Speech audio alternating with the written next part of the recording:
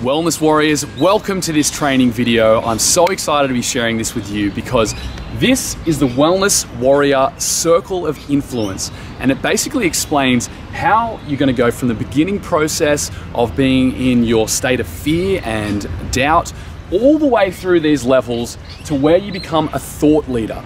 Now, a lot of you might be thinking, I don't know if I want to become a thought leader, and that's fine. At this stage, all you need to understand is that this is how the journey progresses, and you might get to the stage where you're successful and then suddenly decide, I do want to be a thought leader. I want to have more influence and change more lives. So, this is going to explain exactly how you do that. So, when we begin, we start off as a beginner. Now, as a beginner, we've just started our practice and we're earning anywhere between zero to a thousand dollars per week. Okay, so I would call this part time. You might be uh, at the stage where you're putting a lot of effort and energy into your business, but really, if you're still in this beginner sphere, you're still only putting the equivalent of a, of a spare time investment into your business. Now, our biggest challenge to move through here is fear. We want to break you through that fear as fast as possible because that is the only thing holding you back from the next level, which is contestant. So your fears might be speaking in front of the camera, uh, might be public speaking, it might be investing money into marketing. It might be telling your family that you've decided to commit to this journey. Whatever it may be, we need to tackle fear head on. We need to deal with it because that's the biggest barrier. And it's the only thing holding you back from moving forward. Number one, we need to break through fear. So make sure you tackle whatever those fears are. Level two is contestant. Now, this is when you start implementing the systems, you start bringing in leads, you start generating some sales, and you're going to be earning between one and two thousand dollars per week. Now, this is an exciting time because you've finally broken through, and you understand that if you just keep on this journey, there's going to be a lot more success to come. Our biggest challenge in sphere number two, when we're a contestant, is generating leads. So this is where we need really need to plug into our marketing and put effort and energy into that. And this is where we're working the equivalent of part-time in our business. The reality is you can be a contestant earning one to $2,000 per week with a part-time amount of effort. When we move through this stage, we're going to become a rising star. And this is when we start to bring in about two to $5,000 per week in sales. And as this indicates here, we're going to be focusing a lot more on generating sales. So we're bringing leads in, we're doing our marketing, but now we need to start getting better at converting those leads into repeat clients. We need to start getting better at getting clients to give us referrals and really just leveling up our whole practice so that we start to generate about 30 to 40 clients per week. Now, this is where we're going to be learning about being more of a harvester than a hunter. See, a hunter is going out, they're chasing leads, they're chasing sales, and they're really just being very reactive and getting whatever they can as quickly as they can. But when we learn about marketing and sales together, we understand that in order to be successful, we have to plant seeds. We have to become more of a, a, farmer who invests the seeds, doesn't see an instant return, but sure enough, if those seeds are tended to and they're watered regularly, that will return uh, tenfold in future when you start to generate sales. So it's very important that you learn this process. You're gonna be both a hunter and a harvester at this stage in time. When we break through the rising star stage, we're gonna become successful now, this is where your practice is seeing anywhere from 100 to 150 clients per week. This is really, really exciting stuff. So this is where your rooms are going to be booked out. You're going to have other practitioners in performing a variety of different modalities and doing a variety of different therapies in your wellness center. You need to get beyond the, the thought that you're just going to be this particular kind of wellness professional, just the naturopath, you're just the uh, massage therapist. When you become successful, you become the person who works on your business, not in your business. So you're not stuck in the grind, doing all the stuff, running around.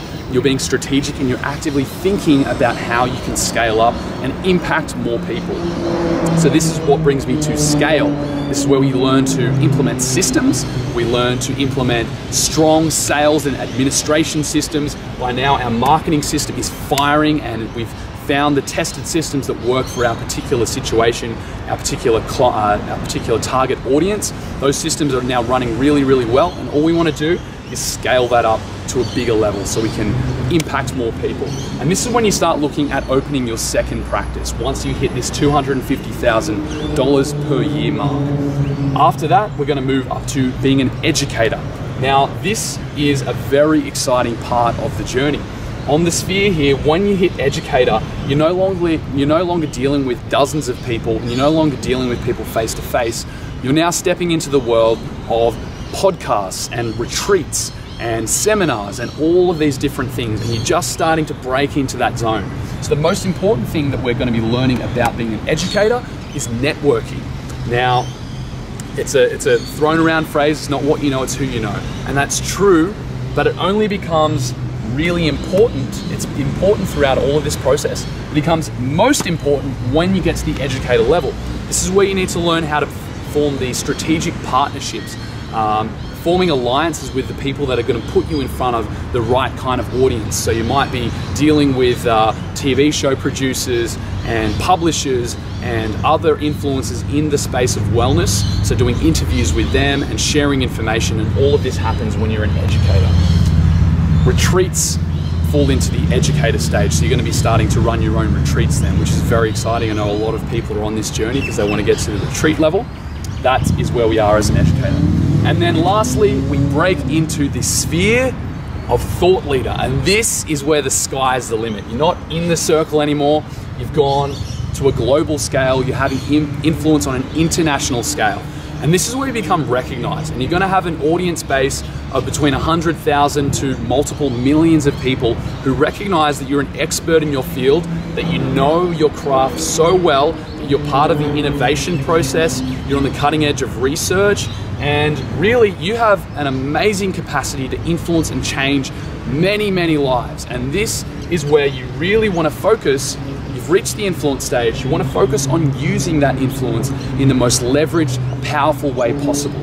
So you've moved beyond the network, you've moved beyond the doing the interviews and uh, doing the TV shows, and breaking into writing your best-selling book. You're selling info products, and you're going to be doing seminars on a bigger scale. So you might have audiences of thousands of people rather than dozens or hundreds. And this is also where you've got the capacity to influence other influential people.